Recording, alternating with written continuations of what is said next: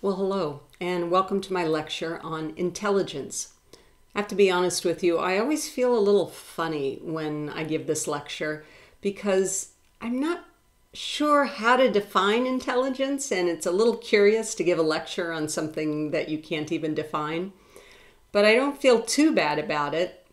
You'll know why in just a second. Let me read for you the official definition of intelligence that comes from the American Psychological Association. Okay, so lots of experts got together and came up with a definition of intelligence, and here it is.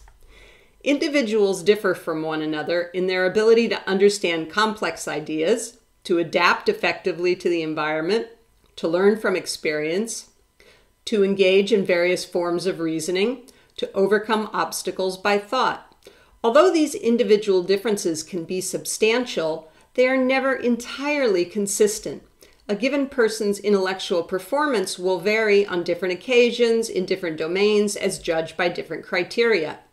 Concepts of intelligence are attempts to clarify and organize this complex set of phenomena. Although considerable clarity has been achieved in some areas, no such conceptualization has yet answered all of the important questions, and none commands universal assent. Indeed, when two dozen prominent theorists were recently asked to define intelligent, they gave two dozen somewhat different definitions. What does that even mean? It's a big definition, isn't it? Well, let's try to simplify it a bit, shall we? Um, intelligence is some sort of general mental ability.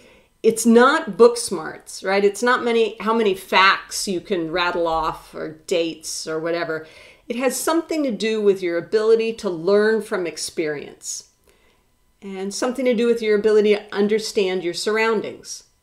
It's kind of the ability to figure things out, to catch on, to understand what's going on. There are, as you can imagine from that huge definition, there are many unanswered questions about the concept of intelligence. Here's two biggies. First, is intelligence one thing or a lot of different things? Depends who you ask. I'll tell you a little about both arguments. Is intelligence something you're born with or somebody something that your environment nurtures? I'll talk about that later too. But the fact that these questions, these basic questions, are as yet unanswered tells you that we are in an area where there's a lot of controversy. People have been wondering about what intelligence is for a long time. So you've got these quotes from uh, Albert Einstein saying that the measure of intelligence is the ability to change to someone arguing that grades don't measure intelligence and age doesn't define maturity. How did we get to this place? Well, it's always good to start at the beginning. And the beginning occurred in France in 1882. That's a year when the French government decided that everyone in France needed to go to elementary school. Before that, schooling was optional. In 1882 in France, it became obligatory. Now, the folks who started schooling for the first time realized that some of the children were going to attend school and have no idea what school was about or not have a lot of understanding of schoolwork or studies in, in a classroom. And so they hired this man, Alfred Binet, um, to help identify students who might need a little help at the beginning to get up to speed with everyone else who was starting school. So Binet started modern intelligence testing with the goal of identifying which students could benefit from a little extra academic support. And the way he did that was to create a series of problems and questions that could or couldn't be answered by children of different age groups. And so he'd give children these tests and from them calculate what their mental age was. Not their chronological age, not many how many years they've been on the planet, but their their mental age, their reasoning ability, if you will. And uh, Binet argued that children who had a mental age below their actual chronological age could benefit from some extra help. That was the start of intelligence testing. The whole point of it was to nurture the development of it of intelligence, not to label people. But then this guy got a hold of the Stanford uh, of the Binet intelligence test. His name is Lewis Terman, and he changed the intelligence test for a very nasty, kind of hard to imagine reason.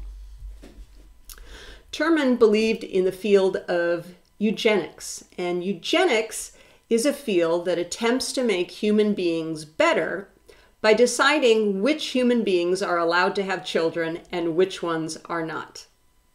I'm not kidding. And I guess you might wonder well, who's going to decide which of us is allowed to have children and which of us is not? Well, of course, people like Lewis Terman. But for his purposes, what Terman wanted was a test that would identify the smartest and the brightest people. So he took Binet's exam and twisted it so that it did the opposite of what it was designed to do. In Terman's case, now the test was used to label people who were smart enough to be allowed to have children. He kept the original idea of um, mental age over chronological age. That is, how your like intelligence corresponds to a particular set of age standards relative to your actual physical age. Um, and if you do that, then you set the average intelligence, for children at least, to 100. So, say you have a five year old children who's able to uh, solve problems and answer questions like your typical five year old children child, then you would have an IQ equation of 5 over 5, which is 1, times 100. 1 times 100 is 100. So, that is a very brief overview of the crazy um, changes that occurred in intelligence testing. We don't use Terman's exam um, equation anymore. Uh, we don't use the, the basic equations anymore because that equation makes an interesting assumption. And the assumption is that we learn, or at least are capable of learning, the same amount every year of our life. Now, that's just not realistic, right? Uh, can you the difference between a two-year-old and a three-year-old in intelligence is is quite large. But the difference between a 52-year-old and a 53-year-old is small very small maybe negative i don't know. But uh, you can't say that one year difference means the same thing for every age group. So folks get, get away from the got away from the original definition but they kept uh, some of the ideas IQ tests to this day are always set so the average IQ is 100. That's my introduction to intelligence. Come back and we'll talk about IQ testing.